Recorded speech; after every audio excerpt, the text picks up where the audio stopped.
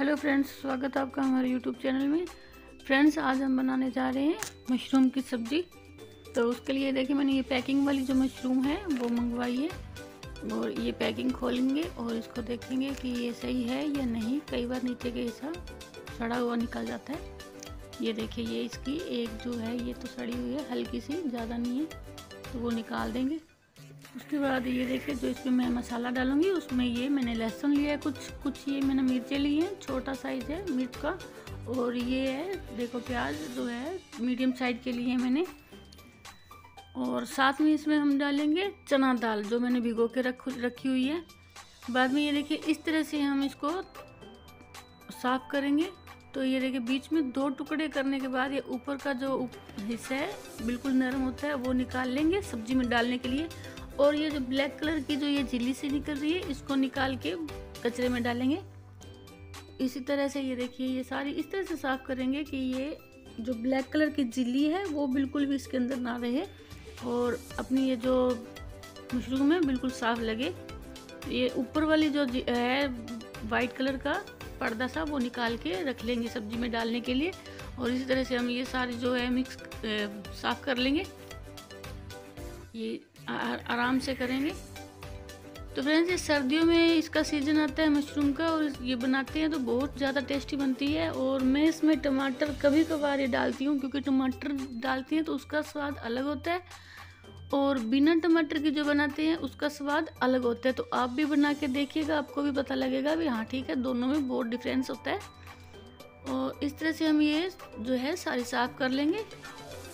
ये देखिए, मैंने इसको सारी साफ़ कर ली। अब हम इसको बिल्कुल बारीक बारीक काटेंगे ताकि ये ज़्यादा टाइम ना ले बनने में और ये पाँच सात सीटियों में ही सब्ज़ी बन के तैयार हो जाए। अगर थोड़ी मोटी काटेंगे तो उसमें ज़्यादा सीटियाँ लगाने की ज़रूरत होती है।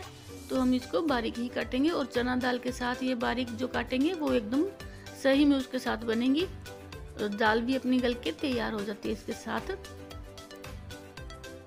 फ्रेंड्स अगर आप मेरे यूट्यूब चैनल पे नए हो तो प्लीज़ मेरे चैनल को सब्सक्राइब करना और बेल आइकन बटन को भी ज़रूर दबाना ताकि जो मैं नई वीडियो बनाऊँ, वो आप तक पहुँच सके। तो प्लीज़ मेरे चैनल को ज़रूर सब्सक्राइब करना। और इसके बाद ये देखिए, मैंने इस तरह से ये बारीक बारीक जो है मशरूम को काट लिया है। इसी तरह से हम पूरी मशरूम को काट लेंगे बारीक बारीक ये देखिए, इस तरह से बिल्कुल ही बारीक है, छोटा साइज़ है और पतली है।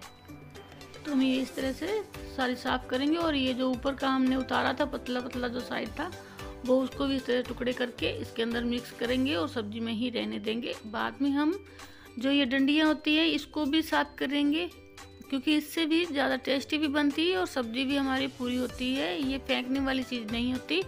तो इस, इन डंडियों को भी हम काट के तैयार करेंगे सब्ज़ी के अंदर ही। तो फ्रेंड्स अगर आपको मेरी वीडियो अच्छी लगे तो कमेंट प्लीज़ ज़रूर किया करें। और आपको और कौन सी वीडियो देखनी होती है, वो भी प्लीज़ मुझे कमेंट में बताना कि आपको ये वीडियो चाहिए। और मैं कोशिश करूँगी पूरी कि आपको वो वीडियो बना के बताऊँ। तो फ्रेंड्स आगे ये देखिए, मैंने ये पूरा काट के और पानी से धो लिए हैं दो तीन बार, क्योंकि इसमें हल्की सी मिट्टी भी रहती है और जो पैकिंग लेके आती है, उसके अंदर थोड़ा सा मसाला भी होता है, वो भी निकालना ज़रूरी होता है। और बाद में ये देखिए मैंने ये गैस पे कुकर रखा है, उसके अंदर मैं ये डेढ़, जो बड़े चम्मच होते हैं, कच्ची जो होती है, वो मैं तेल डालूँगा, डालूँगी इसके अंदर और फिर इसको गर्म होने देंगे। ये देखिए अच्छी तरह से तेल जो है, जल चुका है। तो बाद में मैंने ये जो मसाला साफ़ किया था, इसको कूट पीस के मैंने साफ़ कर लिया। और अब इसको पीस के और तेल में डाल देंगे। तो हल्के धीरे धीरे डालेंगे ताकि तेल के छींटे ना लगे अपने ऊपर। इस तरह से फिर ये पूरा मसाला हम भून लेंगे अच्छी तरह। थोड़ा हल्का सा इसको फ्राई होने इसके अंदर जो पानी रहता है, वो सूखना ज़रूरी होता है, नहीं तो पूरी सब्ज़ी में स्मेल आती है कच्चे मसाले की। तो उसके बाद ये देखिए मैंने एक चौथाई चम्मच हल्दी डाली है और ये नमक डाल रही हूँ मैं इसके अंदर फिर। और ये मैंने, मेरा जो नमक है, मैं आपको बताती हूँ हमेशा ही कि मैं सेंधा नमक यूज़ करती हूँ तो वो मैंने इसके अंदर दो चम्मच डाले हैं और छोटे वाले चम्मच हैं। तो वो डाल के अच्छी तरह से मिला लेंगे और मिला, ये जो पानी इसका सारा सूख जाएगा, फिर हम इसके अंदर बाकी का जो मसाला होता है वो डालेंगे। जैसे कि ये पिसा हुआ धनिया है तो ये चम्मच मेरे छोटे हैं तो चार पाँच चम्मच इसके अंदर आराम से डाल देंगे। अगर आप बड़ा चम्मच लेते हो तो दो चम्मच ही काफ़ी होंगे।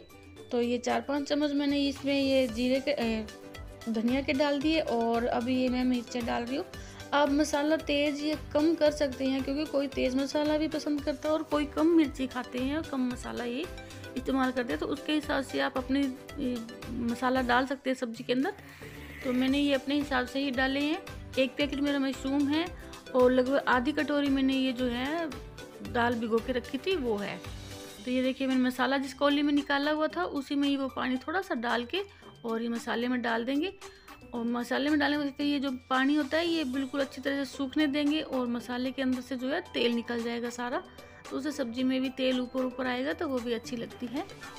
वरना वो जो अगर तेल अंदर रह जाए, रह जाएगा तो वो सब्ज़ी सुंदर नहीं लगती दिखने में भी। तो खाने में चाहे टेस्टी हो, लेकिन वो शक्ल से ही नहीं खाने का मन करता।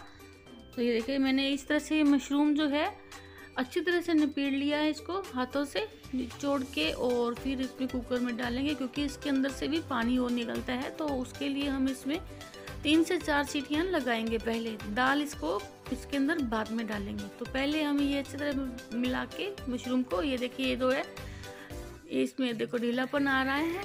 करछी लाते टाइम तो इसके अंदर हम सीटियाँ आराम से लगा सकते हैं, चार पाँच सीटी आराम से लगाएँगे तो ये पहले आधी जो है गल जाएगी मशरूम उसके बाद ये देखिए मैंने ये ढक्कन उतार के आपको दिखा रही हूँ। और बाद में ये देखिए, मैं दाल जो है वो डाल रही हूँ। और दाल डालने के बाद सिर्फ़ इसको मिक्स ही करना है, इसको ज़्यादा भूनना नहीं है, वरना जो दाल है हमारी, वो अच्छी तरह से गलेगी नहीं, कच्ची रह जाएगी। और साथ ही बस मिलाने के बाद इसके साथ ही हाथों हाथ ही हम ग्रेवी के लिए पानी डाल देंगे।